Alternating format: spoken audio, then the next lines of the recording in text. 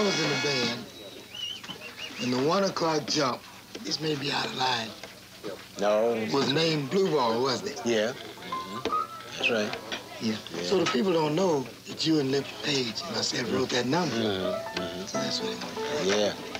Now we uh, recorded that in, uh, yeah, not recorded, we was broadcasting it in uh, Little Rock Arkansas. And uh, it had that particular name, Blue Ball.